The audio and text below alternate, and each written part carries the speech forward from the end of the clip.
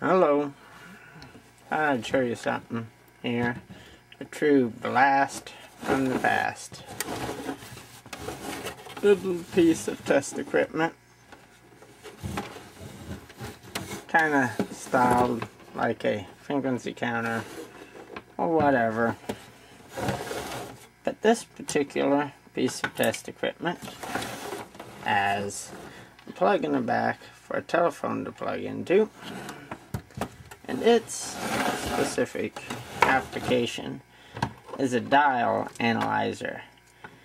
Back in the days when they had rotary telephones, they had stuff like this to allow the technician or maintenance people to properly calibrate and adjust uh, rotary dial mechanisms it shows dial speed and percent break for each and I'll turn it on.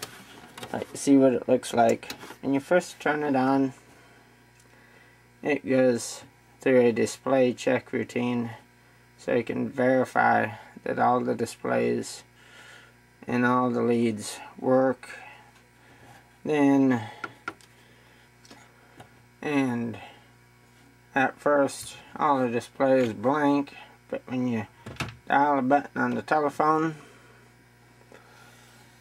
then it will show you green to red, either fast or slow on the dial speed and the percentage break, whether it's too high of a break percentage or too low of a break percentage if it gets too high or too low you start seeing it light up the leads across the top and the bottom. And if you hit the pulse individual pulse display button it'll show you the dial speed and a digital readout and the percentage break for each pulse from the rotary dial mechanism as you can see for this display, it thinks that the small modern phone set to pulse dial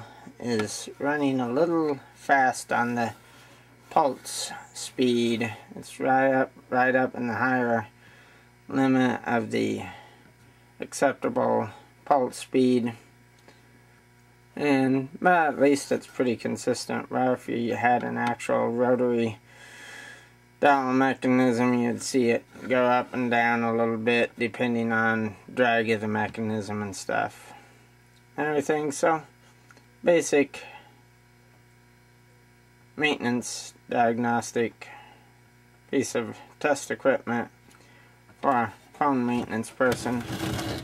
Get you a close-up view have the standard LED multi-segment display stuff. I'll take the cover off. let you see the actual working parts inside.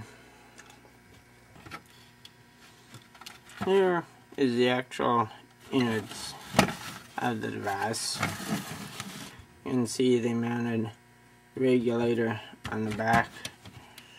Metal plate as a heat sink.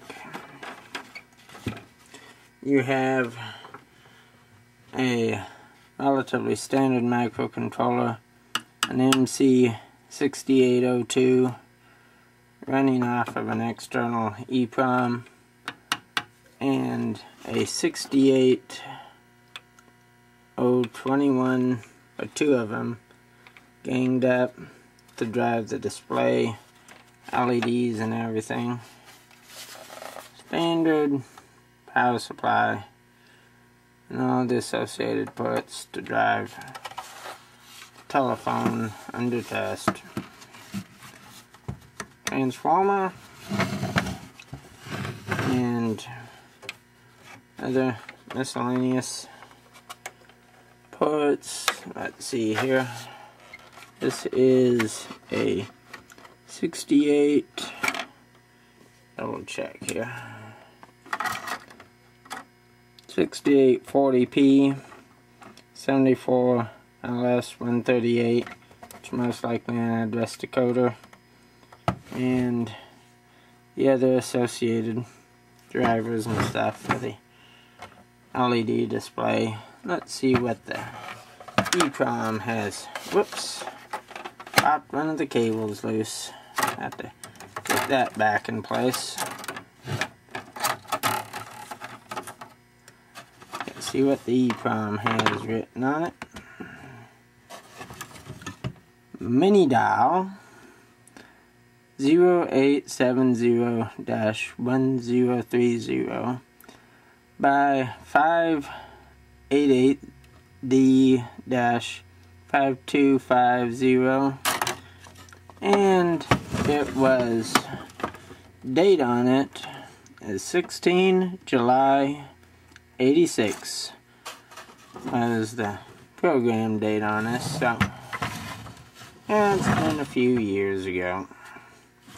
But as you can see it still works if I get the cable plugged back in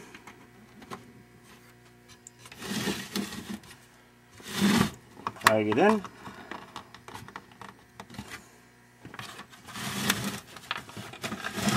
see it does and again